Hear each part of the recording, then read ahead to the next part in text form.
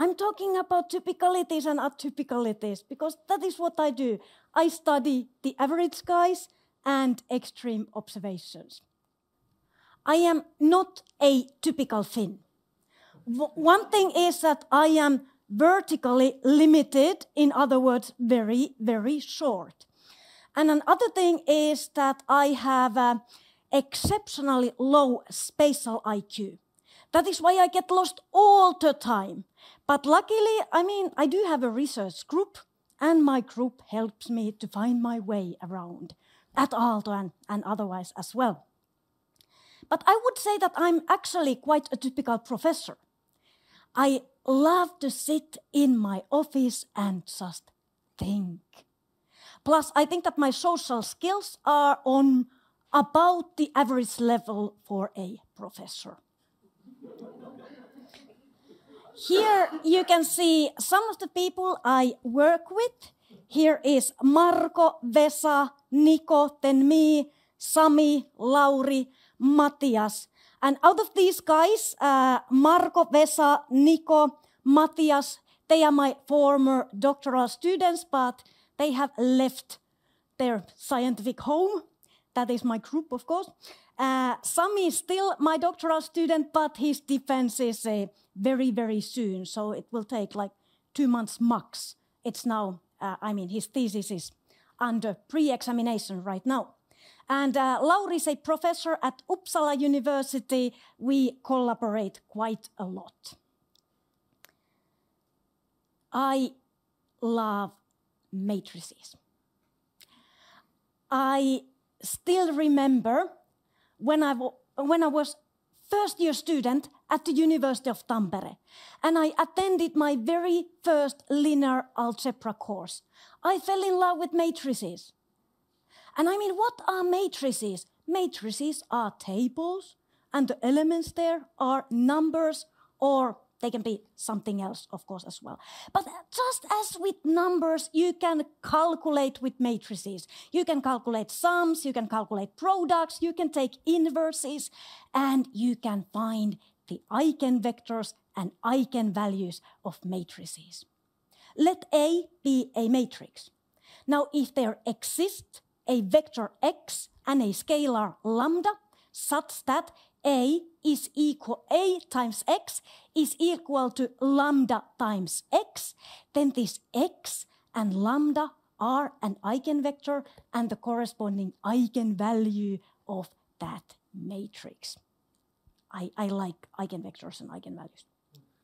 Then what are hypermatrices? Well, hypermatrices are just like matrices, but in higher dimensions. So the simplest case, three-dimensional hypermatrix? Well, it's just like a Rubik cube, except that all sides do not have to have the same length. This is a theorem from one of my joint uh, papers.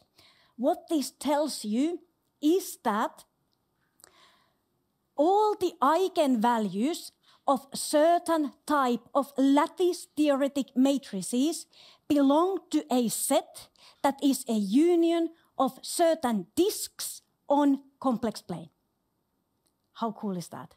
That is super, super cool. And in addition to being super cool, this is the very first mathematical theorem that I have proven ever. And I'm, I'm, I'm still pretty proud of that. uh, matrices matrices and statistics. In statistics, matrices are everywhere. If you have multivariate data, where do you store your data? Into data matrices, right? All multivariate statistical methods, oh, let's not say all, okay, most of them are essentially based on matrix algebra. What you can see here, you see what? Three-dimensional data what is invariant coordinate selection? It's a method for transforming data into invariant coordinates such that after we have made the transformation, the findings of our analysis after that, we can be sure that our findings are not just artifacts of the chosen coordinate system. That is, for example, the units we have chosen. In uh, like the another application of invariant coordinate selection is to search for hidden structures from the data. This is the same data after invariant coordinate selection transformation. We found some hidden structures. There was a smiling face in the data that we found. This is from one of my joint papers. Uh, I love to develop tools. I mean, that is what I do. I love to explore data, but what I love even more is to develop methods for exploring data. One approach to invariant coordinate selection is to develop such estimators for the transformation matrix that are based on simultaneous use of two different scatter estimators with certain selected uh, properties. And, and we play with those uh, matrices, we use them to find the transformation matrix.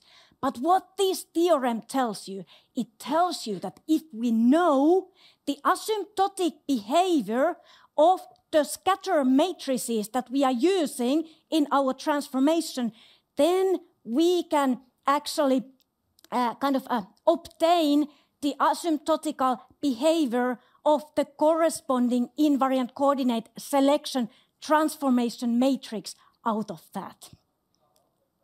Super nice. I think it's, it's like super, super nice. so I like to search for interesting structures from data. And other thing I love is to search for outlying observations or even more extreme observations. There is a tiny boy in this picture. But how extraordinary it is to be that tiny. What is the probability for that? Is it low or is it super, super low? Extreme value theory is of paramount importance in various areas of science. Think about climatology. Think about uh, finance. Uh, in, and, and in many other areas as well, including assessing the typicality of growth of a child. Being extremely short can be a sign of illness so it's important to know whether the probability for being that low is, is, is being that short is low or super, super low. Of course, it could be that there is no illness. Maybe it's just the genes. Maybe the mother is also super short and they are both super healthy. But uh, it's good to take a look what's going on if something extreme is happening in the growth. But today, the problems we are dealing with are often in dimensions higher than two. Think about the situation when you want to find the probability for having, let's say, during the next 10 years, that at certain location the temperature rises above some threshold level and at the same time there is extreme humidity. When we are dealing with this type of problems, we are using multivariate extreme value theory. And this is from one of my joint papers. It's a theorem uh, related to a multivariate extreme value theory. And what it tells you, it tells you that under multivariate elliptical distributions with heavy tails, if you want to estimate the so-called extreme value index of that distribution, you can do that by applying the famous and celebrated Hill estimator on the Mahalanobis distances of the observations from the symmetry center of this elliptical distribution. Again, how cool is this? that is super, super cool. From multivariate settings, let's go to infinite dimensional settings. We have so fancy computers today. We can store massive amounts of data. And that has actually enabled us to model uh, observations that are functions that are like uh, generated by some underlying random process. That is, we are actually analyzing not multivariate data, but and not like high dimensional data, but infinite dimensional data. Here again, what I'm interested in is uh, typicalities.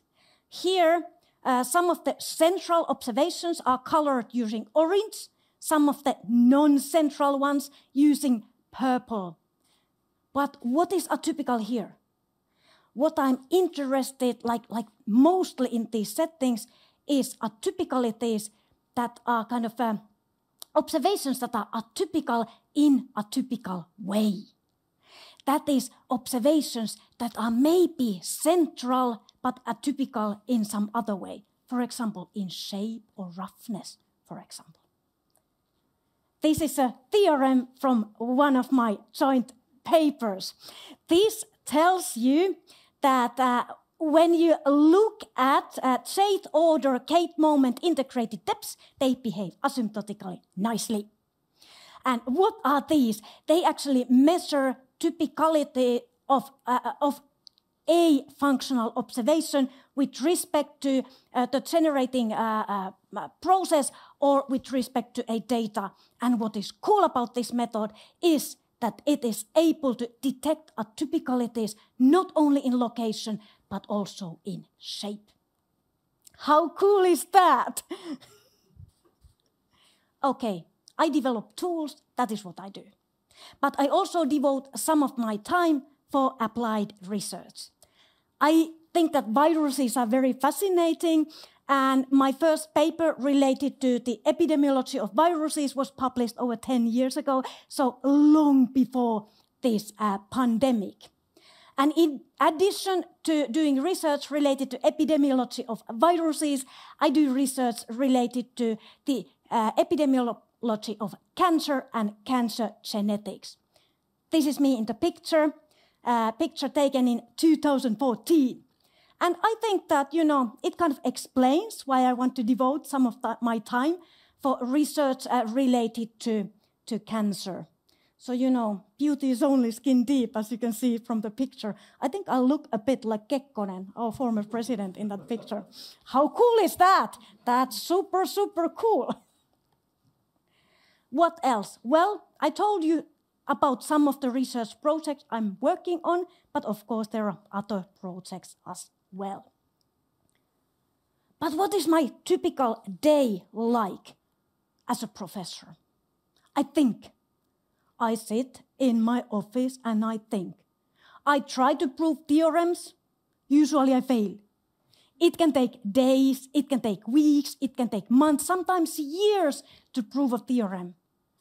But I love the process and think about the feeling when I finally manage to prove the theorem I've been working on for a long, long time. So I have my pen, I have my paper, I have my office, and I think. And I meet people. I meet people, I meet my students, I meet my collaborators in person and in Zoom. And I teach. I've been fortunate to have brilliant, enthusiastic, creative students and and I just I just love teaching. I love to discuss with my students, and I love to love to dive into different topics together with my students. And of course, I collaborate. I invite my collaborators from around the world, and I visit them at different universities in different countries. And I attend conferences, I listen to talks, I give talks, I discuss with colleagues that is also a part of my job as a scientist. But my most significant contributions as a scientist. This is something I feel very strongly about. I think that my most significant contributions as a scientist are definitely my children in science, that is, my students. Vesa, Olga, Matthias, Niko, Marko. With Vesa, I worked on uh, hypermatrices Olga, structural change point analysis, Matthias, extreme value theory, Niko, invariant coordinate selection, Marko, stationary processes. Some of my students have stayed in academia, some found brilliant positions from uh, outside of academia, and I am proud of them. I am proud of all of them. My current children, my current students, Paavo, Sami, Nurhan, Jaakko, Aleksi. Paavo will have his defense this Friday. Sami in a couple of months. Nurhan, Jaakko, Aleksi uh, a bit later. With Paavo, I'm working on uh, genetics related to prostate cancer, Sami, functional data analysis, Nurhan, theoretical and applied uh, dependency structures, Jaakko, extreme value theory, Aleksi, we are modeling uh, uh, text data using Markov chains. My future plans. To be honest, I am very, very happy being here I am very, very happy in my life, at work, and otherwise as well. I think that I am exactly where I want to be. And my future plans are to continue to model the average skies and atypical observations. Thank you.